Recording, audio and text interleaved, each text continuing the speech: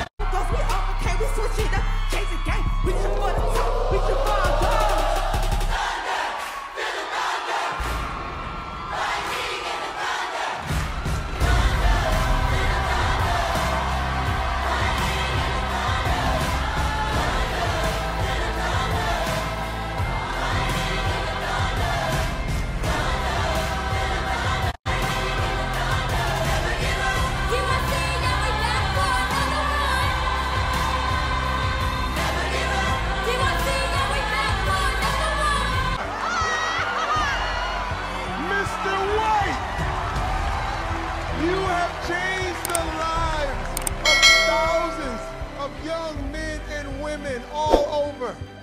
For what you have done for the city of Detroit. For what you have done in this world, one golden buzzer is not enough.